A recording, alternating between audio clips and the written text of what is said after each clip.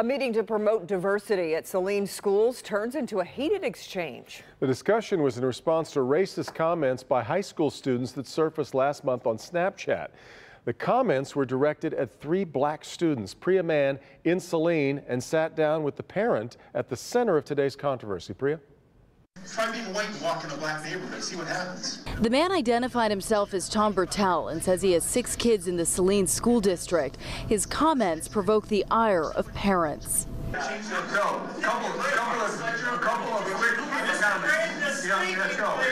But none more than when he interrupted a father talking about his kid's experience with racist students. He was crying because of the abuse that he was enduring in this school system. He wanted to stay in Mexico. Oh this morning was awful, and uh, we're very glad you are here.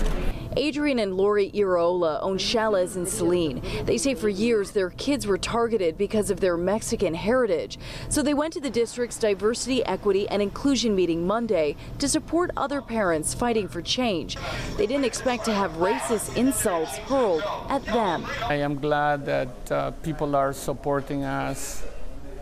I, I thank the gentleman for, for being vocal and expressing his opinion because it will make everybody realize that this is not a figment of our imagination. This is real and it's amongst us. They're hoping the Saline School District makes diversity training mandatory for teachers and holds students accountable. We say that the children are allowed to say these things because they're kids.